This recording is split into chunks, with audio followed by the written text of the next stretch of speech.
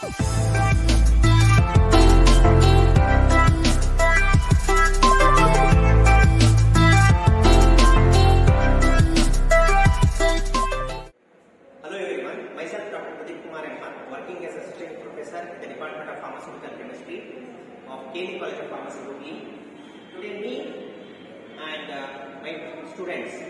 um, we are trying to provide you with insights into the organic qualitative analysis test which we are carrying out in order to find out the what type of the sample is given to us.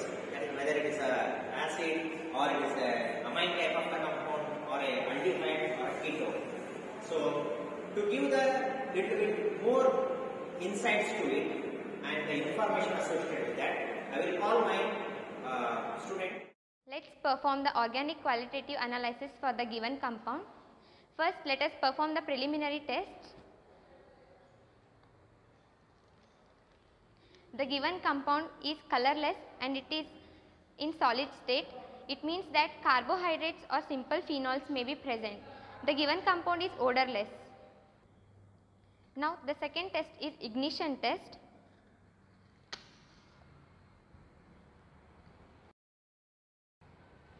Take a small amount of substance on a nickel spoon and burn it. The substance burns with the soot, it means that the given compound is aromatic compound. Third test is Baeyer's test. It is also known as action of KMNO4 that is action of potassium permanganate. Take 0.2 gram of substance, add sodium carbonate and KMNO4 dropwise.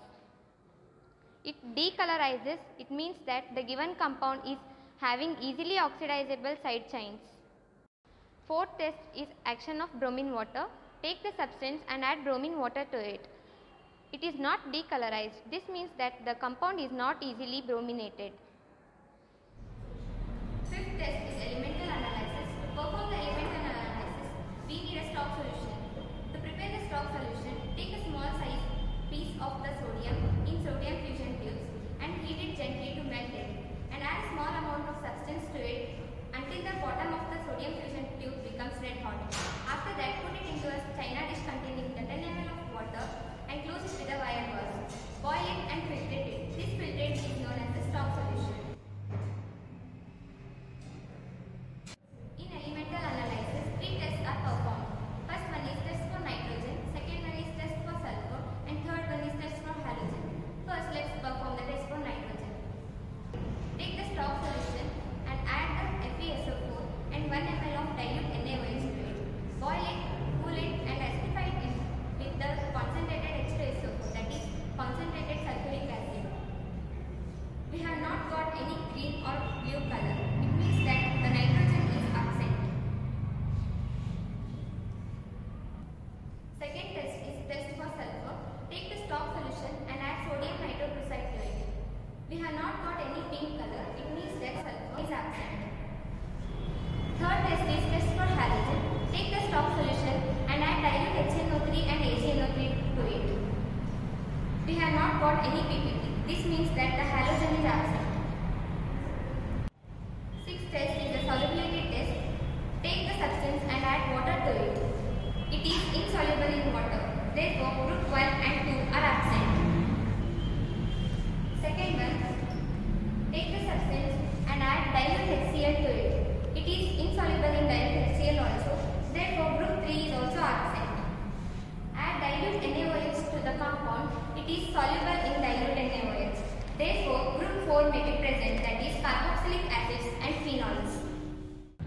Seventh test is solubility test. We have got the compound in group 4 that is carboxylic acids and phenols. So, let us perform the classification reactions in group 4. Take the compound and add sodium bicarbonate solution to it.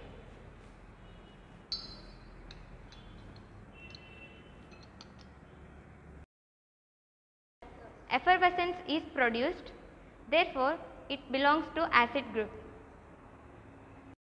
Now, let us perform the confirmatory test for acids by acidification. Take the substance, add alcohol and few drops of concentrated H2SO4. Pour this solution to a china dish containing water or water containing Na2CO3. Fruity odor is formed due to ester formation. Therefore, acid is confirmed. Now, take the substance and add alcoholic FeCl3 that is alcoholic ferric chloride to it. Violet color is formed. This confirms that it is a salicylic acid which is also known as phenolic acid.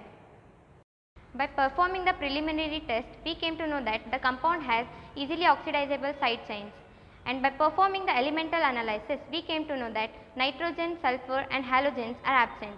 By performing the solubility test, we came to know that the compound is insoluble in water and dilute HCl, but it is soluble in dilute NaOH.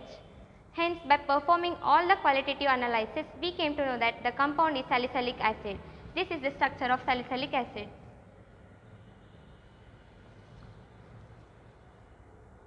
Thank you.